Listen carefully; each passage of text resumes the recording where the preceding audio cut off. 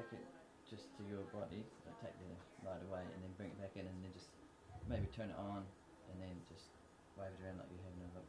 Okay. Yeah. Yeah.